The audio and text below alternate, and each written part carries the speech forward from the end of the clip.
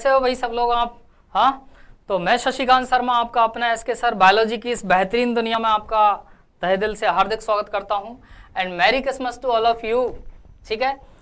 Santa Claus जो खुशियों वाले बाबा हैं, वो आपको बेहतरीन सी खुशी दें कि आपका नीट में सिलेक्शन हो और आप बेस्ट से बेस्ट मेडिकल कॉलेज में पहुँचे।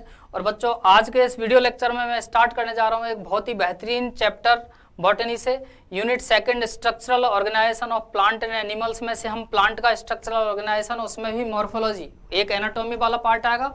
अभी प्लांट मॉर्फोलॉजी की बात करते हैं। जैसा कि आप देख पा रहे हो एक शानदार सा नज़ारा ठीक है ना? और इस पर है मॉर्फोलॉजी ऑफ़ फ्लोरिंग प्लांट्स बिल्कुल बेस से मैं स्टार्ट कर, करूँगा बच्चों।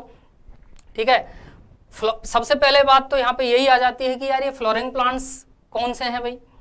तो फ्लोरिंग प्लांट्स वास्तव में ध्यान रखना बच्चों, जो प्लांट के पाँच ग्रुप हैं थैलोफाइटा ब्रायोफाइटा टेरिडो जिम्नो और एनजियो अपन जानते हैं। उनमें से थैलोफाइटा ब्रायोफाइटा टेरिडोफाइटा इनमें तो फ्लावर और फ्लावर के जैसी कोई स्ट्रक्चर मिलती ही नहीं। समझ में आई बात? ठीक है? दूसरा आया अब जिम्नोस्पम जिम्नोस्पम में पहली बार फ्लावर जैसी स्ट्रक्चर आई है, जिसको हम कौन बोलते हैं? कौन बोलते हैं? कौन बोलते हैं? बोले तो स्ट्रोबेलस, लेक्स या कॉन्स बोलते हैं। ठीक है ना? वो फ्लावर लाइक स्ट्रक्चर है ट्रू फ्लावर केवल और केवल एंजियोस्पर्म आए हैं। तो जो ये टॉपिक है, बच्चों, ये चैप्टर का नाम मॉर्फोलॉजी ऑफ़ फ्लोरिंग प्लांट्स तो मैं बोल सकता हूँ मॉर्फोलॉजी ऑफ़ एंजियोस्पर्म समझ रहे को? क्योंकि केवल एंजियोस्पर्म ही ट्रू फ्लोरिंग प्लांट्स होते हैं और किसी भी प्लांट ग्रुप में ट्रू फ्लावर्स मिले ही नहीं हैं। आ रही है बात समझ में? पहले तो ये क्लियर करो। तो हम सारी जो जो भी मॉडिफिकेशंस पढ़ेंगे, ढेर सारे लीफ रूट स्टेम और इसमें, ठीक है ना, उन सब वो एंजियोस्पर्म के केस में पढ़ेंगे, ठीक है ना? अब बात आती है कि यार ये root stem leaf flower fruits ये सब प्लांट के ऑर्गन्स हैं, ठीक है ना? प्लांट जैसे हमारे हाथ पाम नाक, कान, मुँह, गला, ये सब क्या है अपने ऑर्गन्स हैं? ऐसे ही प्लांट के ऑर्गन्स क्या होते हैं बच्चों? Root stem leaf flower fruit ठीक है ना? तो ये सारे प्लांट ऑर्गन्स हैं। इन्हीं डिफरेंट प्लांट ऑर्गन्स के डिफरेंट फॉर्म्स और फीचर्स की जो आउटर स्टडी की जाती है एक्सटर्नल स्ट्रक्चर्स की जब स्टडी की जाती है तो इसी को नाम दे देते हैं बच्चों मॉर्फोलॉजी तो स्टार्ट करते हैं ये बेहतरीन सेशन आज का। और बच्चों मॉर्फोलॉजी में बच्चों का जो रटने का सिस्टम है, उसको पूरी तरह से ख़त्म कर दूँगा मैं। बिल्कुल एक परसेंट बने रहिए आप मेरे साथ। शानदार वाली आपके लिए स्लाइड्स तैयार की हैं। खूब ज़बरदस्त मेहनत कर रही है टीम नीट विजन आपके सिलेक्शन को इंश्योर करने के लिए। तो आप जुड़िए टीम नीट विजन के साथ। आपको वास्तव में टॉप से टॉप मेडिकल कॉलेज मिलेगा, ठीक है ना? और 720 में से 720 दिलवाने की अपन की क्षमता है और उसके ऊपर पुरजोर अपन मेहनत कर रहे हैं। तो जुड़िए आप यूट्यूब चैनल से कनेक्ट हुई ऐप डाउनलोड कीजिए और जुड़िए नीट को फतेह करने के लिए। तो मैं स्टार्ट करता हूँ आज का ये बेहतरीन सेशन प्लांट मॉर्फोलॉजी का।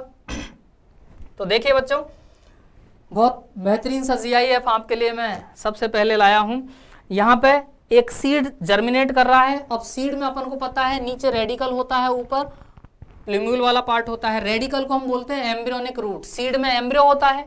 एम्ब्रियो की जो रूट बनाएगा ठीक है ना, वो रेडिकल बनाएगा। तो एम्ब्रियोनल रूट बोल देते हैं रेडिकल को वास्तव में। ठीक है ना? तो ये आप देख पा रहे हो, नीचे ये रेडिकल ही एलोंगेट हो रहा है और ये प्राइमरी रूट बनती है जो मेन ट्रंक होता है इसका। ये प्राइमरी रूट बन रही है, आप ये देख पा रहे हो। ठीक है ना? इसके बाद में जब इसकी ब्रांचिंग होंगी तो वो सेकेंडरी रूट्स होंगी और उनकी फाइन ब्रांचिंग वो टर्सरी रूट्स और उनसे भी आगे और फर्दर हो सकती हैं जो रूटलेट्स की फॉर्म में बन जाती हैं। और बच्चों, ऊपर की तरफ़ जो आप देख रहे हो एरियल ये पार्ट वास्तव में प्लूम्यूल जर्मिनेट होकर प्लूम्यूल एलोंगेट होकर वास्तव में एरियल शूट सिस्टम डेवलप करता है, जिसमें मेन ट्रंक जो होता है वो स्टेम होता है स्टेम बियर करता है फ्लावर फ्रूट लीव्स ठीक है ना? नोड इंटर नोड बर्ड्स ये सारे कौन बियर करता है? वो स्टेम बियर करता है। तो वो एरियल शूट सिस्टम वाला पार्ट है जो आप देख पा रहे हो, ये ये पूरा की पूरा एरियल शूट सिस्टम वाला पार्ट है।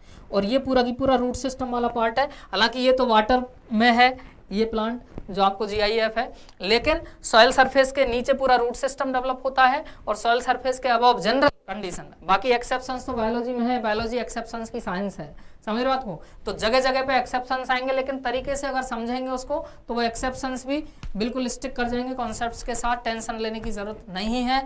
जैसे जैसे वीडियो लेक्चर आगे बढ़ेगा, आपका रट्टाफिकेशन वाला मामला पूरी तरह से खत्म हो चुका होगा। ये मेरा कॉन्फिडेंस है, ठीक है ना? और बिल्कुल यकीन भी है। तो आप बने रहिए।